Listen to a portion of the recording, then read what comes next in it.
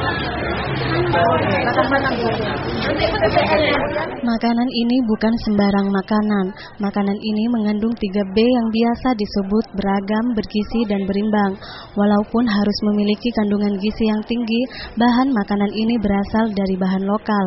Makanan yang ada ini merupakan makanan yang diikutkan dalam lomba menu masakan yang diadakan Dinas Pertanian Kabupaten Sumeneb ini.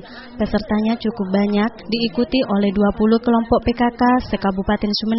Lomba makanan digelar atas keprihatinan setelah diketahui masakan yang diolah ibu-ibu seiring tidak memenuhi kandungan gizi yang dibutuhkan tubuh. Tidak heran jika hidangan yang dilombakan meliputi menu makan pagi, makan siang, dan makan malam. Di antara menu masakan yang dilombakan adalah nasi sukun menik-menik, sayur asam, dendeng ragi, dan urap-urap. Selain itu, hasil buah-buahan juga ikut dilombakan seperti jeruk, nanas, dan buah pisang. Ini dimaksudkan agar bahan lokal yang dihasilkan petani bisa dimanfaatkan secara maksimal. Cara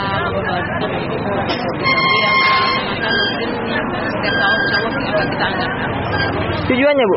Tujuannya pertama adalah pertama adalah untuk pemberdayaan masyarakat dalam rangka program diversifikasi pangan. Kemudian yang kedua juga untuk uh, menggali potensi-potensi yang ada di wilayah.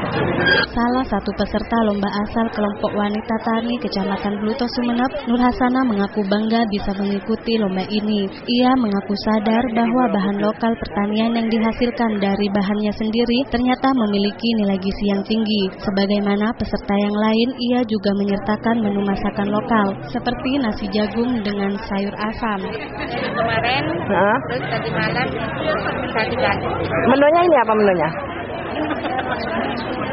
Semua Hah? jagung, Hah? terus kompuk namanya, Hah? makan siangnya sayur bening, Hah?